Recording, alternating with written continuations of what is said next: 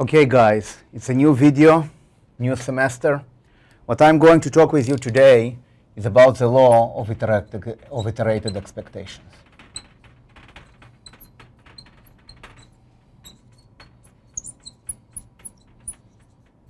Okay, and this is something that is not usually taught in uh, curriculums like, uh, you know, FRMs, but I still think it's actually very important because it gives you a powerful incentive of how to calculate prices and how to calculate iterated expectations. So what we're going to do, we're going to play a game, right? We're going to throw to throw a coin and record the number of times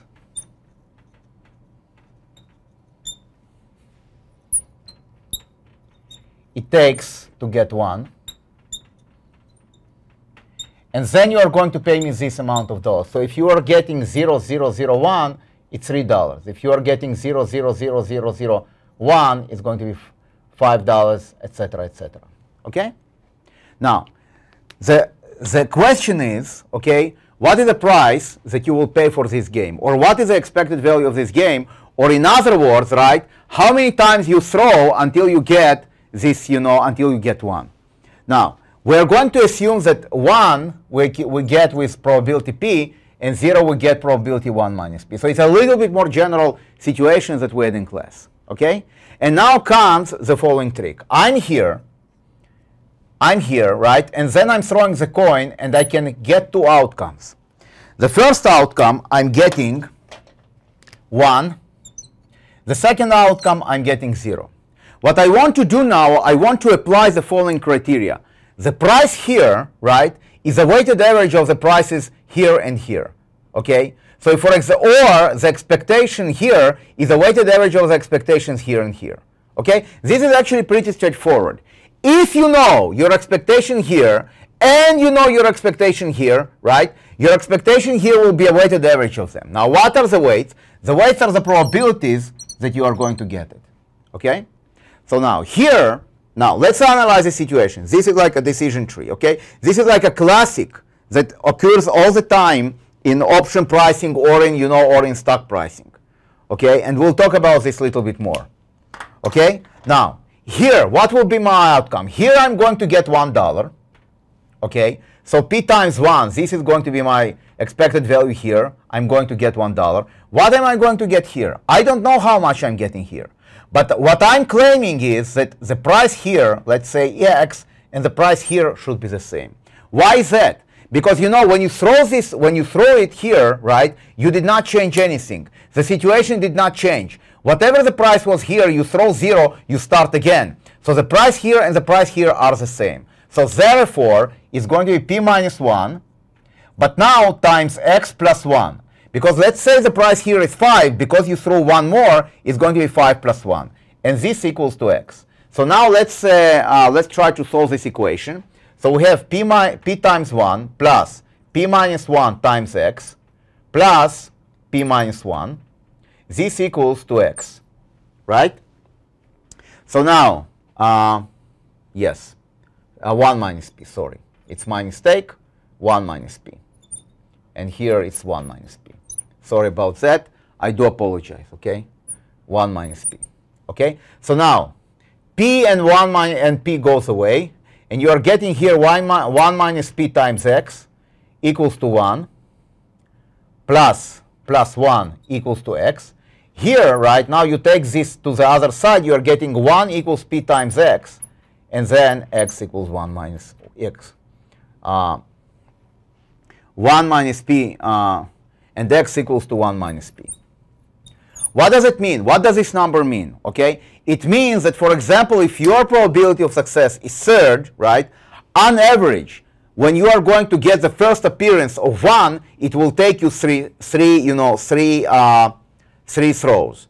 If you're, uh, you know, if you throw a coin, okay, and you are getting, let's say, 1 with probability of 1 over 10 and 0 with probability uh, 9 over 10, right, it will take you basically 10 times to get 1. And this is kind of intuitive, right? You throw 1, tuck, tuck, tuck, tuck, and you get this as, as much as, you know, as much as you want to.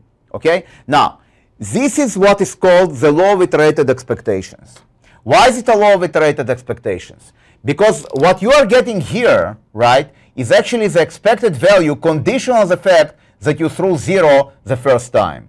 The, the fact that you threw zero the first time, right, the expected value here equals to the expected value here. And then what you're doing, you're actually weighting, right, your, expect, your conditional expected values by their probabilities. So that's actually a very, very, very, very powerful technique. And I showed this, and I showed now, if you want to do it directly, how it is going to look like. This is going to look like very ugly, right? Because what does it mean to, uh, to do it directly? You want to look on n, and you want to see what is the probability of getting 1 at the end. So it's going to be the probability p n minus 1, right, times 1 minus p, because you get n minus 1 throws 1 minus p, times n, and now you need to sum this series. Okay? And you, of course you can do that. Of course you can sum it, but it's actually pretty tricky, right? You need basically to, just to give you a hint, you want to something to sum like that, right? So what you want to do in order to sum like that, first you want to sum something like that, which is 1 over 1 minus x, and then you kind of noticed that if you take the derivative of this guy, it's going to be n times xn minus 1. So times x, this is exactly what you are getting here. So first you take the derivative here. It's 1 minus 1 minus x minus 1 to the square, and then you multiply by x, right? So it's, it's actually pretty, pretty tricky, right? This actually bypasses all this uh, nonsense, and it gives you in a very clean, you know, in a very clean way. Let's, uh, let us do another example that I did in class. What will happen if you throw two zeros consecutively, right? But now the probability of, of, of getting this is going to be half.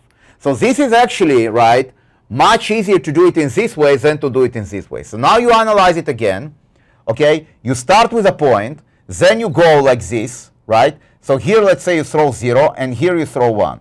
Now, if you throw 1, you have to start again, because this row did not do anything, right? So the price here and the price here are the same. So then you have that this will contribute half x plus 1 okay? Because this price here, the price here, or the expected value here, expected value here will be the same. Now, what happens here? Here you once again have, have a decision tree.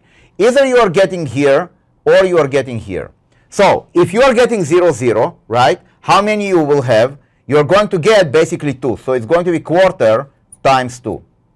Plus, and now what will you get here? It's going to be quarter, but now you have two steps instead of uh, one. So, you have x plus 2 right? Once again, because you threw one, you have to start again all over again. So the price here and the price here will be the same, right? And this has to be equal x. So now, right, your equation is, let me write it here, right? It's going to be half x plus 1 plus uh, 2 plus half plus uh, quarter x plus 2 equals x, right? If you solve it, right, you will, you will find out that x equals 6. Okay? You just open it. I mean, you know, you open it, you have half here, quarter here, quarter of x, so you have 3 quarter x, right, uh, equals to x. And here you have half, you have another half, so you have, uh, you know, uh, 3 halves plus 3 quarter x, then x equals, you know, 3 halves, x equals quarter, x, 3 halves equals quarter x, x equals 6. Okay? Once again, the law of iterated expectations is in action, okay? First, what you do, you find out what is your expected value in each one, and then you discount back, back by the probability. So here you have three passes. This is the first pass, the probability of quarter. This is the second pass, the probability of quarter. And this is the third pass with probability of half, right? So these three guys, right, everyone has its own expected value. The expected value here is 2 because you throw it two times, right, and you get 2 because you're, you're done. Here's the expected value is x itself, right, because you throw 1 and you know you are actually coming back because the fact that you threw 1 did not, did not promote you to the goal. And here, right, if you throw 0 and 1, once again, you're not getting promoted to the goal. So this guy, right, is coming from this portion, right, will come from the law of iterated expectations. And it has to equal x because it has to be equal to the, you know, to the value here. Okay? Formally, you can write the, you know, the law of iterated expectation or something like that. That, you know, the expected value at time t of the future, right, equals to basically, you know, equals to basically the expected value of x, right? Something like that. So basically, if you have, if you have, you know, if, if in time t, right, or like this, if in time t, right, you have also expected value at time t plus 1, let's say you calculate it, then you basically look on the weighted probabilities and you get your, you know, and you get your uh, expected value at time t, okay? Or you can just forget about these form formalities, right? And you can just use this kind of diagrams, right? The idea is that you're having a tree of decisions, you find, you know, the expected value in each one, or you find the price in each one, and then you basically weight it by probabilities, okay?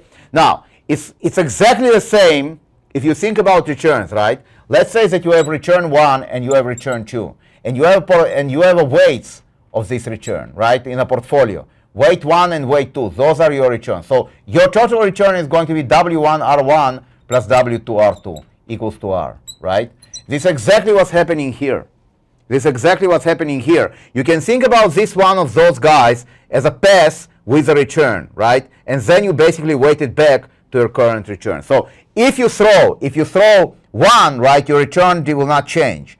If you throw 0, then you have this kind of decision tree that will split. Okay?